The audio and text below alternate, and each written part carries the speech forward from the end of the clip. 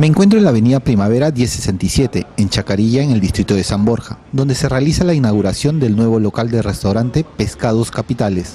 Con la apertura de este, su segundo local, se espera el crecimiento del 40% al finalizar el presente año. En este almuerzo se informa a la opinión pública de las características del servicio y platos ofrecidos, así como también del crecimiento y demanda en el rubro gastronómico en Lima. ¿Cómo se inicia eh, esta idea de negocio? Yo creo que tiene que ver mucho mi profesión. Yo soy antropólogo de profesión, no soy empresario.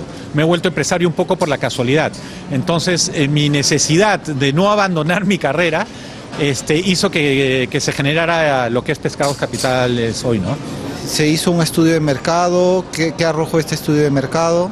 Justamente el estudio de mercado lo que arrojó es que, la zona de, Chacarilla, que, significa no solo este, Chacarilla en sí misma, sino es el distrito de San Borja, el distrito de Surco, el distrito de La Molina, ATE, ATE Vitarte, San Luis, que tienen una serie cantidad de empresas y todo, este, tenían una, una demanda fuerte respecto a lugares a donde ir a comer y que había muy pocos.